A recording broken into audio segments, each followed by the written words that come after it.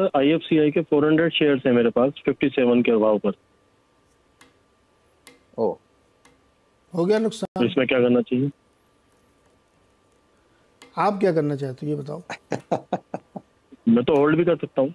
कितने दिन तक? जब तक पॉजिटिव ना आए।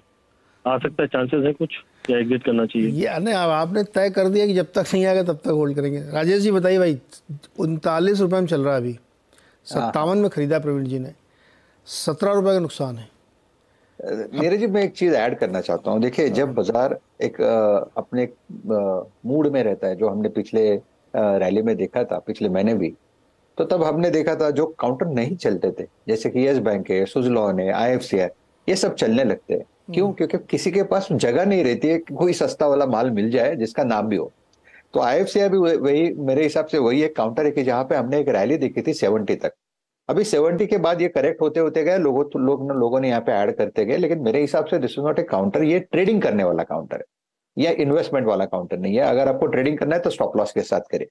रही बात उनके पोजिशन की तो देखिए, जो करेक्शन है तो one bout of selling seem over that is what we can say सत्तर से लेके करीबन पैंतीस तक का करेक्शन तो आधा तो इधर हो गया।